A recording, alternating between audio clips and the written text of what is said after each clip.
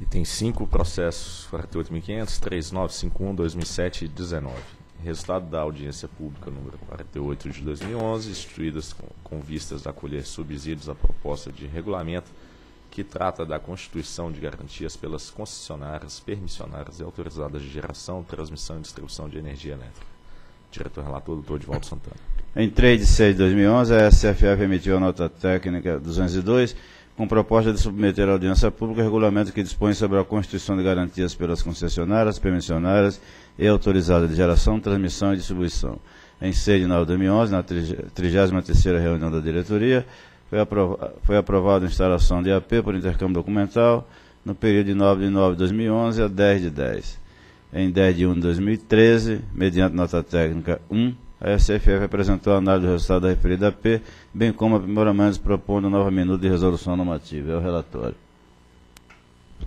Tem, tem uma, uma apresentação técnica que vocês acham necessária? Acho que é bom. Quem faz? É bastante curta.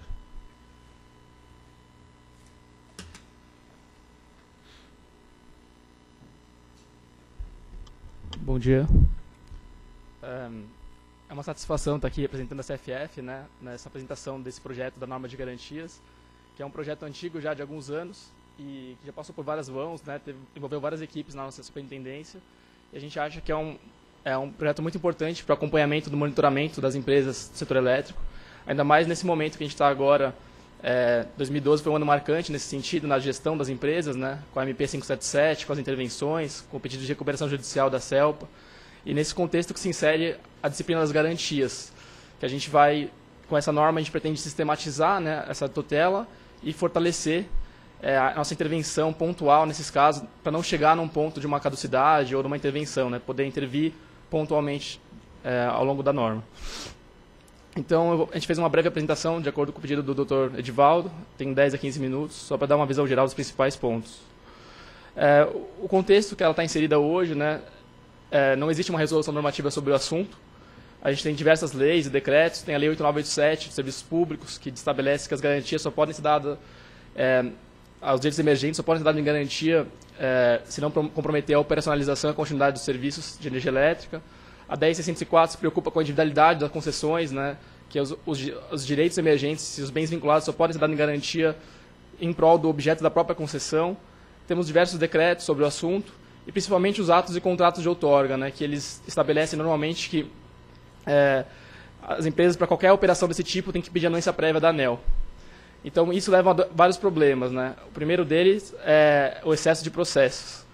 É, como todas as operações têm que passar para a gente previamente. A gente recebe uma série de pedidos, gerando uma burocracia desnecessária para os agentes. Diversas operações de baixo risco a gente tem que analisar previamente, que é um procedimento muito custoso. E, de outro lado, compromete nossos recursos para aprofundar a análise e fazer uma análise mais robusta, como a gente gostaria de fazer, como a gente precisa fazer, que a sociedade pede que a gente faça hoje. Né? Então, é, com base nisso, a gente fez a proposta em 2011, a AP48, que foi uma proposta de racionalizar isso e sintetizando, assim, a gente quer olhar menos processos, né, só o que importa mesmo, e olhar muito melhor. Essa é a nossa proposta. Né? Além de é, consolidar todas as normas em um lugar só, né, facilitar o, o entendimento para a sociedade, da nossa, nosso, nossa tutela regulatória. Então, a gente fez audiência pública, a gente recebeu proposta, é, contribuições de nove empresas, e foram 36 contribuições, uma média de quatro por empresa, né?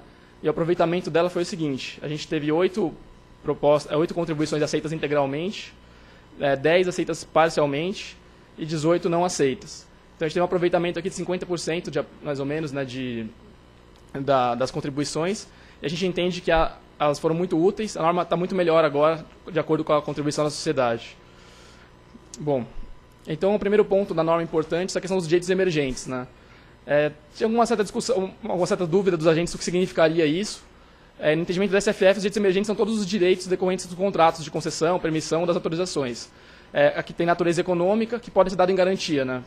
De, normalmente, o mais comum são os direitos creditórios, normalmente os recebíveis, e os direitos indenizatórios ao fim da concessão. Né? Então, basicamente, são essa tutela que a gente está fazendo aqui. É, e, e, o foco nosso aqui foi racionalizar os processos, como eu disse antes. Então, a primeira dispensa que a gente deu do controle prévio são para contratos essenciais. CCAR, CUST, CUSD, CCT, CCD, Todos esses contratos muitas vezes pedem garantias, e os agentes tinham que pedir para a gente para fazer esses contratos, para construir a garantia. Então nem tinha muito como analisar, assim, porque é tão importante que não teria como dizer não nesse tipo de operação. Né? Bom, uma segunda dispensa que a gente propôs é, foi para os Project Finance. É, quando a gente licita um empreendimento novo de transmissão ou de geração, é, a gente, teoricamente, faz análise do, do, do, investidor, né, do empreendedor, no momento da licitação. Né? Então, não caberia a gente, um mês depois, falar que a gente não vai aprovar que ele deu os direitos emergentes para construir o projeto.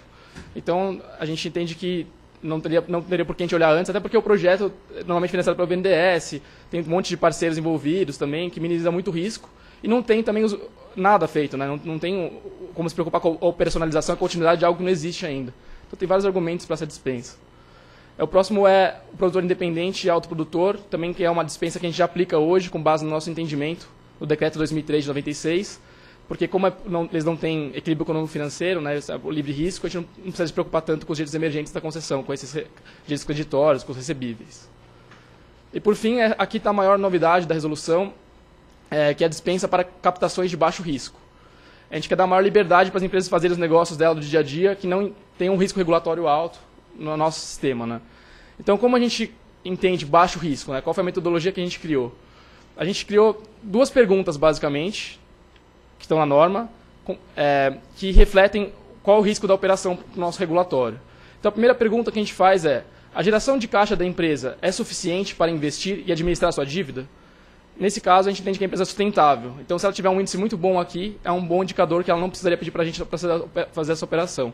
E como se traduz na fórmula, né, é o seguinte: a gente calcula a dívida líquida esperada da empresa, que é a dívida líquida no momento da captação, somada com é, a dívida pretendida por ela, naquele, naquela operação, dividida pelo EBITDA, que é a geração de caixa anual da empresa, menos o CAPEX, que é o investimento anual da empresa. E esse índice tem que ser menor que 5. E aí, aqui nós temos o Eduardo Rara também, que ele é o economista responsável por toda essa metodologia. Se tiver alguma dúvida mais é, profunda, a gente pode chamar ele aqui, porque ele é o mentor intelectual de tudo isso aqui. É, a, então, isso aqui significa que a empresa conseguiria pagar pelo menos os juros da dívida dela e uma boa parte do principal também, e continuar mantendo o padrão de investimentos dela no serviço. E a segunda pergunta que a gente faz é se a geração de caixa da empresa até o fim da concessão é suficiente para investir e administrar sua dívida. E como a gente calcula isso na fórmula? A gente usa o mesmo conceito da dívida líquida esperada dela, tem que ser menor a geração de caixa anual, menos os investimentos anuais, multiplicado pelo número de anos remanescentes da concessão. E com isso a gente vê se o caixa que ela vai gerar até o final é maior do que a, o endividamento dela até o final da concessão. Então, com base nessas duas perguntas, que a gente faz com meio dessas fórmulas, né, a gente entende que empresas que passarem por, por esses dois crivos são tão altamente saudáveis é, financeiramente e tem um risco baixíssimo de qualquer inadimplemento com o setor e com... Então, é assim, nunca levaria ao cenário de execução dessas garantias. Então, esse é o raciocínio da dispensa. As empresas que não passarem nesses índices, que são conservadores, né, por ser uma dispensa da análise prévia, a gente tem que, ter, que usar índices conservadores, quem não passar nisso não significa que a empresa está mal. Significa apenas que ela não está tão bem ao ponto de estar tá dispensada. Então, ela vem para análise. E a nossa análise agora vai ter um maior rigor, como eu disse antes. A gente vai analisar realmente a capacidade de pagamento da empresa. E se a gente concluir que a empresa não tem é, a perspectiva dela de, de, não é de, de, de adimplica o contrato, né, que ela tem um risco de insolvência, a gente vai dizer não, você não pode captar usando esses recebíveis da concessão. Ou então a gente pode aprovar condicionalmente, por exemplo, condicionar a um aporte capital do acionista ou condicionar a um plano de reestruturação econômico-financeiro. Então, assim, são instrumentos que a gente está tentando usar ao longo da gestão da empresa para induzir que ela tenha um padrão de risco menor, né, uma gestão mais prudente. Bom, e com base nisso, a gente fez algumas simulações, né, é, pensando em como seria a aplicação dessa norma a partir do momento da entrada em vigor. É, com base nos dados atuais que a gente fez para a renovação das concessões, alguns estudos, provavelmente 37% das distribuidoras estariam dispensadas das operações de captação que elas fazem normalmente. 25% pediriam para a gente e a gente provavelmente aprovaria com base nos índices atuais. E 38% são empresas que não estão sustentáveis hoje por si só e poderiam ser reprovadas nessa operação. Ou então condicionado a algumas medidas que a gente entende necessárias para a reestruturação da gestão delas. E, e só para ter uma noção em representatividade da ROL, essas distribuidoras, fica parecido os dados. Fica 28% da ROL de todas as distribuidoras, 28% aprovada e 44% negada. Então, para ter uma noção da aplicação da norma, a tendência é a gente reprovar mais operações agora e ser mais duro nessa análise. Bom, é, eu esgotei o tema aqui da, dos direitos emergentes.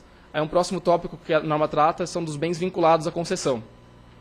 Esse é um tema antigo aqui na ANEL, né? é, é um tema bem polêmico, e a gente não, não se pretende a discutir agora, é, a dar uma resposta definitiva aqui nesse momento, porque temos uma outra audiência pública da SFF também, especificamente para definir quais são os bens vinculados, a questão dos bens inservíveis e tudo. Então a gente precisava dar uma solução mais simples só para poder aplicar a norma agora. E depois no futuro, se a gente repensar isso, aprimorar, a gente pode voltar aqui e fazer alguma alteração. Então a gente usou a definição mais ampla possível, né, que está em audiência pública agora, que todos os bens é, que estão ligados ao objeto da concessão são vinculados. Então inclui desde o transformador, um poste, torre, caminhão de manutenção, que são itens diretamente ligados ao serviço de energia elétrica, como também a sede da empresa, computadores de escritório, tudo que faz parte da concessão ligada ao objeto dela. Só que aí, no tratamento das garantias, a gente fez um tratamento um pouco diferente. Os bens diretamente ligados à energia elétrica, eles são vedados da garantia por conta da alienabilidade, são claramente é, inalienáveis. Então, por exemplo, a gente fez a vedação sobre esses aqui. E aí, no caso, uma sede ou um computador ou um veículo, se a empresa quiser uma, fazer uma alienação fiduciária, alguma coisa assim, poderia pedir a anuência da ANEL que a gente poderia analisar e aprovar esse tipo de operação. A única exceção a essa regra aqui são o Project Finance de produtores independentes e autoprodutores, que o decreto 2003 permite que eles deem, inclusive, os bens elétricos em garantia, desde que para construir o empreendimento, desde que antes da operação comercial, antes da entrada em operação comercial da usina. Então, basicamente, o tratamento que já foi simplificado aqui é, para a gente evitar qualquer risco e deixar a discussão maior dos bens vinculados para a próxima agência pública que tem o fim exclusivo disso. E por fim, o último tópico que eu vou abordar aqui são as outras formas de garantias que também podem acabar impactando nos bens vinculados da concessão. Né? Então, por exemplo, a fiança e aval. Quando uma empresa dá uma garantia pessoal para outra empresa, é, há um risco de uma contaminação de uma concessão por outra. Né? Então, é, um, é uma operação de certo risco regulatório. Então, a gente entende que pode ser aprovada mediante a anuência prévia da ANEL, é que a gente vai analisar a capacidade de pagamento da empresa, se ela pode dar aquela aval garantia, se ela não se comprometeria financeiramente se fosse executado aquilo e, e somente para novos empreendimentos de energia. Então, por exemplo, uma transmissora quer dar para uma SPE ou uma geradora para uma, uma outra SPE, poderia dar se ela estiver bem. E a gente vai analisar previamente essa operação. Esse é o entendimento que a gente já faz hoje, basicamente. Exceto duas dispensas que a gente deu por resolução autorizativa. É, também temos é, as ações, né? muitas vezes o empreendedor dá ações de outros empreendimentos de energia elétrica em garantia, principalmente para Project Finance também. E nosso entendimento, só estamos formalizando o que a gente já faz hoje, que ele, as, as, ações podem ser dadas em garantia, desde que, é, no momento de eventual execução, que implique transferência de controle societário, tem que pedir anuência prévia no momento da execução. É, e até um parecer da Procuradoria que subsidia esse entendimento também.